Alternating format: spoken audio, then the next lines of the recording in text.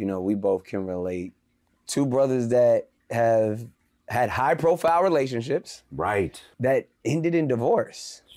I am now someone who was part of an unsuccessful marriage and I still mm-hmm. have to keep it pushing, man. Sure, How, how did you deal with that? I wouldn't say it was unsuccessful. Mm. Because maybe it, it did exactly what it What it was was designed to do. to do. So that also was a perspective that I had to kind of learn For as I went through my healing. I felt vulnerable, right? I mm. felt I felt like my belief system had been shaken. We did four months of pre-engagement Wow. counseling, then months of premarital counseling, Yeah. and then counseling throughout. And then wrote a book and about wrote it. a book, you know. For me, when you look at heartbreak, it's really hope break.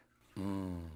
And what I mean by that is that in our heart, we hold hopes of what we want to see happen or what we believe will happen. Yeah. When it comes to marriage, our heart hopes that this is going to last mm. in the way that we intended when we said, I do. When